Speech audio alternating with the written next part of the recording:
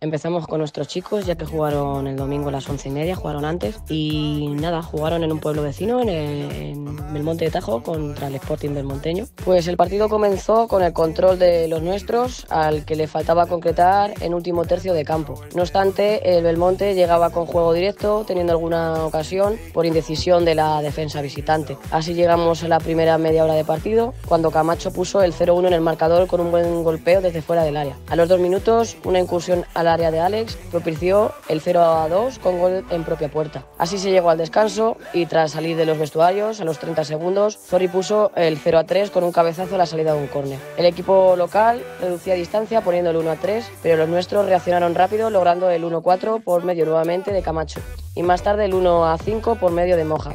A 20 minutos del final, Alex puso el 1 a 6 definitivo en el marcador para llevarnos los tres puntos necesarios y nada, el equipo sigue cogiendo confianza en esta segunda vuelta. Bueno, y ahora vamos con la crónica de nuestras chicas que también jugaron fuera de casa el domingo a las 4 de la tarde contra las chicas del Sporting Getafe.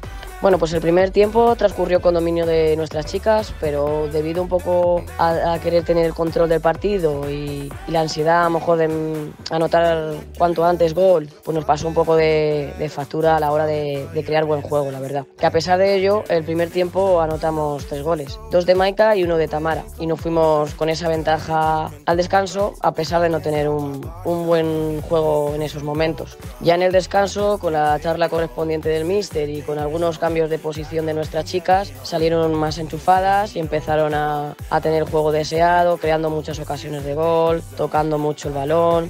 Y bueno, nos costó arrancar, pero según avanzó el partido, acabó saliendo el trabajo y se consiguió anotar seis goles más en esta segunda parte, que fueron mm, por medio de Ángela con tres goles, otro más de Maika, otro más de Tamara y, y el último fue obra de Aitana. Y nada, estas son nuestras crónicas de este fin de semana.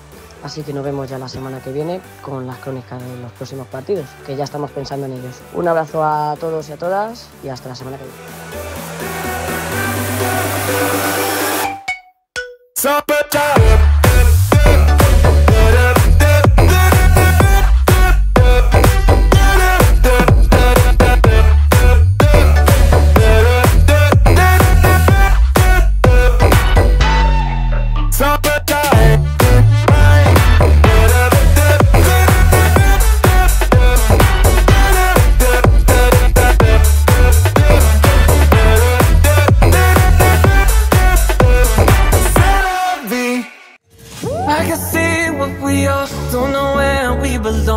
Wanna know what you're thinking. Wanna know why something's missing. Started stories before But they ended up short. Get me up to higher places. Want you to fill my pages. Is this for real or is it just a fantasy? Are we from now or is it really meant to be? Are you still in my arms when we've read out all the this story.